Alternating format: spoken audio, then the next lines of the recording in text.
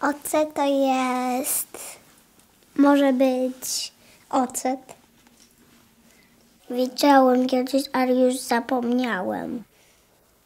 Może być cukier, oliwka.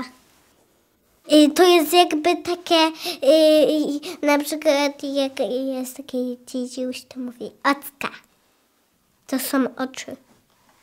Hmm, łatwiej wypowiedzieć. Ocy, oce. Nieme ruchowe to jest, się ktoś nie mówi i, i się nie rusza? Mnie nieruchome, że się nie rusza albo się rusza. To jest jak się chodzi po księżycu i się rusza? Ty? Ile wiesz o ubezpieczeniach? Wejdź na www.dajemyradę.pl i przekonaj się, że ubezpieczenia mogą być dziecinnie proste.